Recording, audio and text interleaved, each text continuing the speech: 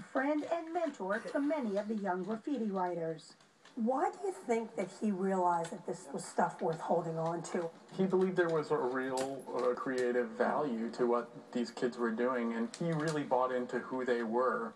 He saw them as artists, not hoodlums? Yes, exactly. He, he really very strongly believed that. But others object to glorifying graffiti, arguing that it's a sign of a city out of control.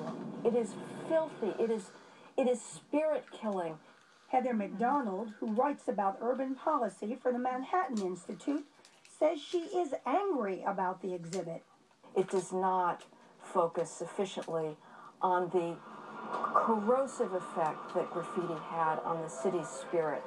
Anybody who could avoid the subways in the 1970s and 80s that, could, did.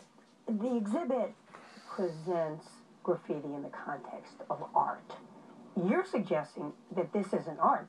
It is vandalism. It is an appropriation of the public's space or somebody's private property without permission, and nobody has a right to do that. It's only graffiti or vandalism if you get arrested. But if you get away with it, then it's clearly art. Graffiti began to disappear from streets and subways as New York City became more vigilant about cracking down and cleaning up. But it has left a lasting impression on our culture. Futura 2000 has become a graphic artist who has worked for Nike and Levi's. Lady Pink is a painter whose work has been exhibited in several museums. And so is Daze. And the graffiti movement paved the way for world-renowned artists like Keith Haring, Banksy, and Shepard Fairey, who created the famous Obama Hope poster. It all delights this trio of graffiti pioneers. I think we're all pretty grateful right now to have had that experience, you know, because a lot of people pine for it. You know, they, they oh wow, it must have been so cool back then in New York. And you know what? Yeah, it was. And you missed it, okay?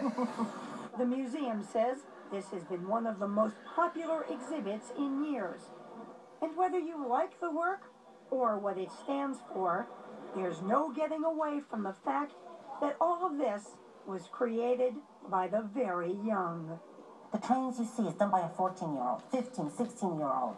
It is done by kids. When was the last time we've ever seen an important movement be contributed by teenagers in our American culture?